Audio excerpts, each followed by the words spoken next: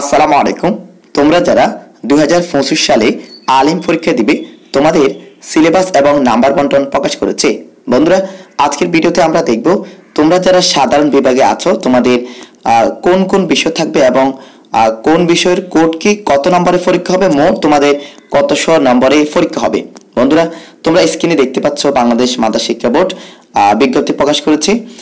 আলিম পরীক্ষা দুই হাজার পঁচিশ খ্রিস্টাব্দ, অর্থাৎ তোমরা যারা দুই হাজার তেইশ চব্বিশ শিক্ষাবর্ষ আহ, তোমাদের নম্বর বন্টন আজকে এখানে দেওয়া হবে। তো এখানে দেখো তোমরা যারা সাধারণ বিভাগে আছো তোমাদের মোট পনেরোশত নম্বরে পরীক্ষা হবে। আর তোমাদের বিষয় থাকবে মোট পনেরোটি। এখানে তেরোটি থাকবে প্রথমে দেখো পরে দুটি অপশনাল অতিরিক্ত বিষয়। প্রথমত দেখো কোরআন মাজিদ থাকবে বিশেষ করে দুইশত এক নম্বর হচ্ছে একশো। অর্থাৎ একশো নম্বরের পরীক্ষা হবে। এরপরে হাদিস ও উসুলে হাদিস, এরপরে আলফিকা প্রথম পত্র, আলফিকা দ্বিতীয় পত্র, আরবি সাহিত্য প্রথম পত্র, আরবি সাহিত্য দ্বিতীয় পত্র, এখানে একশো নম্বরের পরীক্ষা হবে। দেখতে পাচ্ছ তোমরা, প্রত্যেক বিষয়ে একশো নম্বর করে কিন্তু পরীক্ষা হবে এবং প্রথম পত্র, দ্বিতীয় পত্র আলাদা আলাদা পরীক্ষা হবে।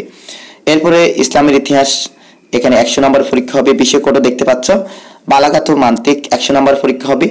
বাংলা প্রথম পত্র একশো নম্বরে, বাংলা দ্বিতীয় পত্র একশো নম্বরে ইংরেজি প্রথম পত্র একশো নম্বরে, ইংরেজি দ্বিতীয় পত্র একশো নম্বরে, এরপরে তথ্য, যোগাযোগ প্রযুক্তি একশো নম্বরে। বন্ধুরা, এই তেরোটি একশো একশো নম্বর করে, এরপরে অতিরিক্ত দুটি বিষয়, দুটি দুশো নম্বর। অর্থাৎ, এখানে দেখো, তোমাদের চোদ্দ নম্বর থেকে একুশ নম্বর পর্যন্ত অনেকগুলো বিষয় আছে।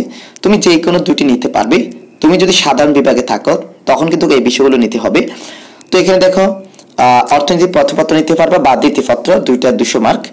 এরপরে উর্দু প্রথম পত্র বা দ্বিতীয় পত্র নিতে পারবে।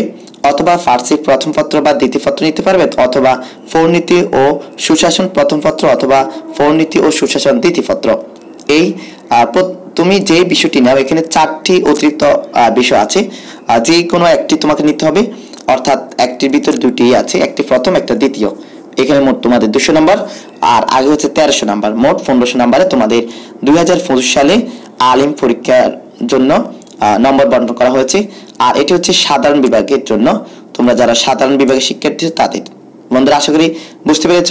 আর তোমাদের জন্য যে নম্বর বন্টন এবং সিলেবাস রয়েছে, সেটি আমরা আপলোড করে দিয়েছি। এই ভিডিও ডেসক্রিপশনে প্লে লিস্টে লিঙ্ক দেওয়া আছে, লিঙ্কে ক্লিক করে দেখে নিবে। আর এই পিডিএফ ফাইলটির লিঙ্ক দেওয়া আছে এই ভিডিও ডেসক্রিপশনে। তোমরা পিডিএফ ফাইলটি লিঙ্কে ক্লিক করে ডাউনলোড করে বিস্তারিত দেখে নিতে পারো। ভালো থাকবে, সুস্থ থাকবে, ধন্যবাদ, আল্লাহ হাফেজ।